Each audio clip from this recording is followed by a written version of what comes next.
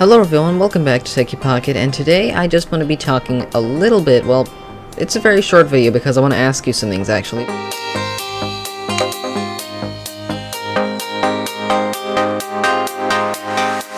I want to know, I mean I want to tell you, there's actually no such thing as lag-free monitors.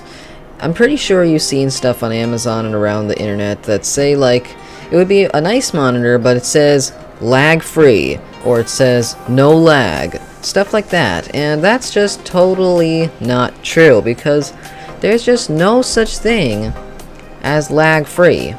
There's such thing as low lag, but there's no such thing as lag-free. The, the, the fastest response time we have now is 1 millisecond, okay?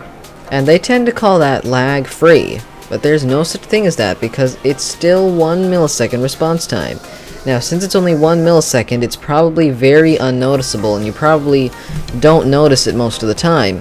But it still is there. It still is one millisecond of lag. Who knows when they will get rid of lag totally, but I don't know why they say lag free. It's it's just like the thing about every monitor, every keyboard, and every mouse is gaming mouse just because it has some RGB. At least called an RGB mouse. But that's not what the point of this video actually was. I just wanted to ask you guys, what do you prefer? If you had a choice between these three options, which one of these three would you choose? You have a choice of 144 Hz, 5 milliseconds response time. Option 2 is 60 Hz, 1 milliseconds response time. Or, the last option is 260 Hz, 1 millisecond response time. So let's say option 1 was $300, option 2 was $200, and option 3 was $600. I just want to know what you guys would choose if you had to go with those prices and those options. Which of those three would you choose? And I'm just wondering because I'd like to know what do people really prefer? Frame rate, response time, or both? And it seems to me like 60 Hz is still a standard basically, but 144 Hz should be the standard.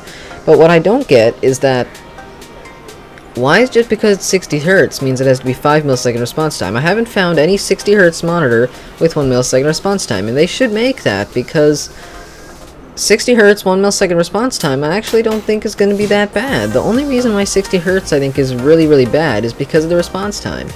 And if 144 Hz had like 10 milliseconds response time like most 60 Hz monitors do, I'm pretty sure 144 Hz would probably not be so good. So I want you guys to tell me below what would you choose, and just, uh, you know, talk a little bit about this. So, uh, I'll see you guys next video. Bye!